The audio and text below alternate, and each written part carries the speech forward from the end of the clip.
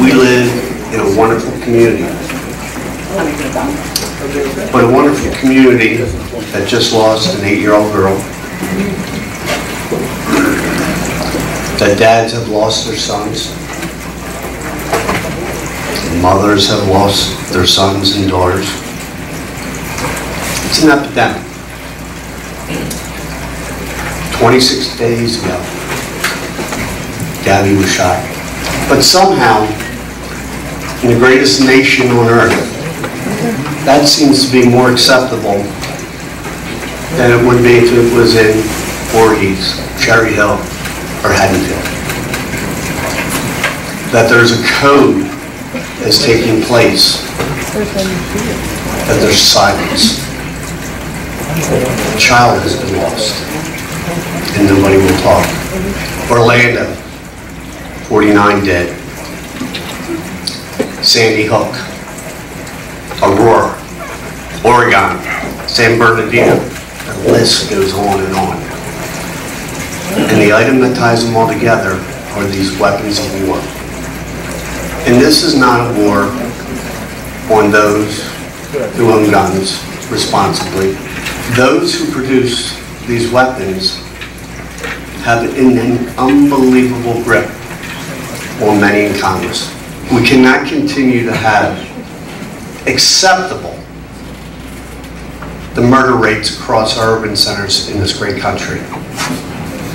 We're spending hundreds of billions of dollars in faraway lands. Yet, in one city, Chicago, more young men and women have been killed on the street there than in the history of terrorism. We still must protect our nation, but we have to protect our neighborhoods. In my own district, my own city of Atlanta, I've gone to too many funerals. Seen too many hearts broken. I've gone to funerals of police officers. Young children, young babies, mothers and fathers. We have to do something. We have to act now to stop gun violence. We're losing too many of our children. But we were taught that in the bosom of every human being, there is a spark of the divine. Amen. And you have to respect it.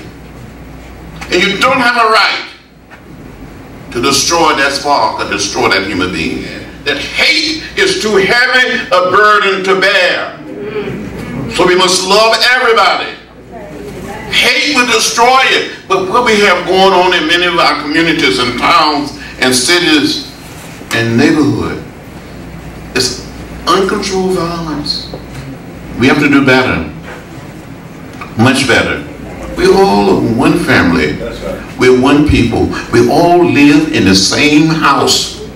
Not just the American house, but the world house. We can win this. We can have a victory and stop the killing